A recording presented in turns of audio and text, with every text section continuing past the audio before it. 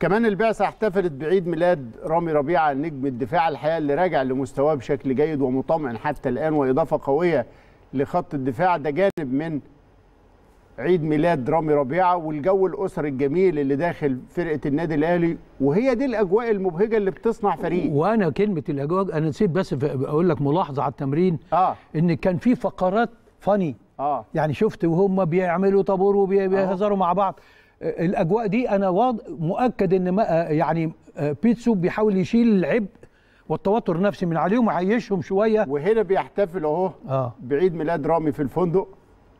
كل سنة وأنت طيب يا رامي ودايما موفق ودايما في أحسن حال. رامي ربيعه طبعا مدافع دولي كبير واحد من اللعيبة من أول ما طلع وكان فعلا مبشر جدا. يعني آه، شخصية آه، واثقة في نفسها. عنده قدرات. لما تشوفه وهو ما راحش كأس العالم للأندية آه. ما, ما عملش آه، لا مش هروح أعارة أنا هرجع عشان أثبت وجودي.